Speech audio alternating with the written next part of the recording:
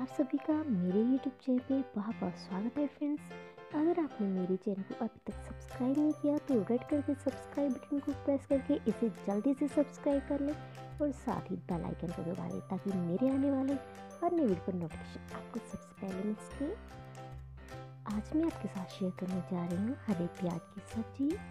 इसे हम spring onion भी बोलते हैं। ये खाने में बहुत ही ज़्यादा टेस्टी लगता है। इसे आप पराठे के साथ सर्व कर सकते हो। ये सभी को बहुत ही ज़्यादा पसंद आता है। तो चलिए बनाना स्टार्ट करते हैं। इसके लिए मैंने हरा प्याज लिया है, एक किलो। इसे हमने धोकर अच्छे से सुखा लिया है। तो अब हम इसका छिलका उतार लेंगे।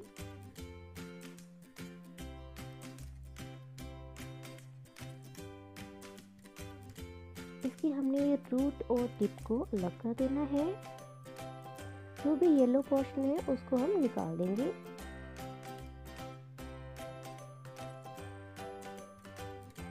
ऐसे ही हम अपने बाकी के प्याजों की भी स्किन उतार देंगे और रूट और टिप को भी अलग कर देंगे।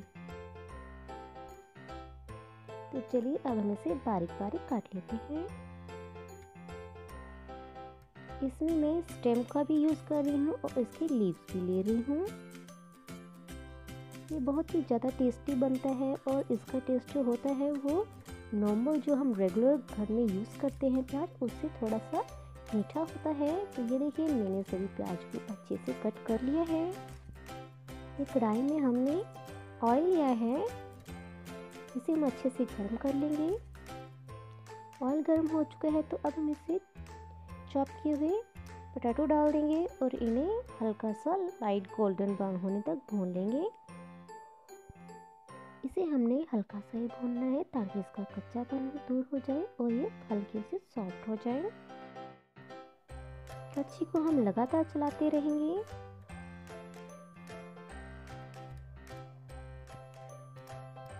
ये देखिए, ये हल्के से लाइट गोल्डन ब्राउन हो चुके हैं तो अब हम इसे निकाल लेते हैं।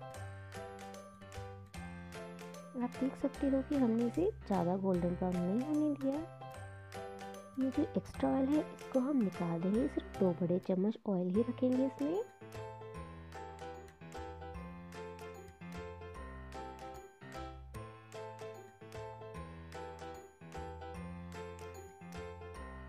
तो आप देख सकते हो कि मैंने एक्स्ट्रा ऑयल निकाल लिया है। अब हम इसमें आधा चम्मच जीरा डाल देंगे और इसे हल्का सा ब्राउन होने देंगे। इसमें जिंजर गार्लिक और ग्रीन चिली का पेस्ट डाल देंगे। इसे हमने गोल्डन ब्राउन होने तक भून लेना है। तो अब हम इसमें कटे हुए स्प्रिंग अनियन डाल देंगे।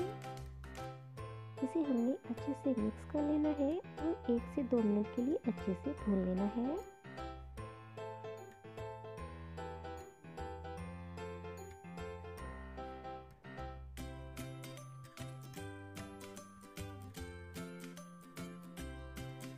प्याज को हम ऊपर नीचे करके अच्छे से चला लेंगे।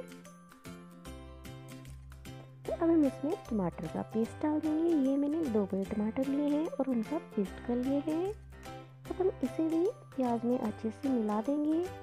इसे हमने तब तक पकाना है जब तक कि प्याज का पानी सूख नहीं जाता। तो आप देख सकते हो कि प्याज रिड्यूस होने शुरू हो चुके हैं। ये कितने कम हो चुके हैं। इसीलिए हमने स्टार्टिंग में मसाले ऐड नहीं किए, वरना हमें जो मसालों का एस्टिमेट है वो अच्छे से नहीं होता। जब ये रिड्यूस हो जाएँगे, हमने मसाले तभी ऐड करने हैं। अच्छी को हम लगातार चलाते रहेंगे। तो ये देखिए, इसका पानी बिल्कुल सूख चुका है। तो अब हम इसमें फ्राई किए हुए आलू डाल देंगे और इसे भी अच्छे से मिक्स कर लेंगे। इसे हमने दो से तीन मिनट के लिए पका लेना है ताकि आलू अच्छे से पक जाए। तो अब हम इसमें हल्दी पाउडर डाल देंगे आधा चम्मच। आधा चम्मच इसमें हमने लाल मिर्च डाली है। और नमक डालेंगे। नमक आप अपने टेस्ट के अकॉर्डिंग डाल सकते हो। आधा चम्मच इसमें हमने जीरा पाउडर डाला है और आधा चम्मच ही हमने इसमें धनिया पाउडर डाला है। इन सभी को हमने अच्छे से मिक्स कर लेना है। इसे हम दो से तीन मिनट के लिए पकाएँगे ताकि मसाले अच्छे से पक जाए और सब्ज़ी में मिल जाए। तो देखिए, हमारी सब्ज़ी बनकर तैयार है।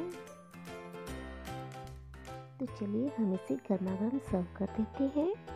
आप इसे प्लेन पराठे के साथ सर्व कीजिए, बहुत ही ज़्यादा टेस्टी लगती है। इसे आप नाश्ते में ज़रूर बनाकर देखिएगा, ये बहुत ही ज़्यादा टेस्टी है खाने में। अगर आपको मेरी रेसिपी अच्छी लगी तो इसे ज़्यादा से ज़्यादा शेयर कीजिए लाइक कीजिए कमेंट कीजिए और मेरे चैनल को सब्सक्राइब करना ना भूलिए।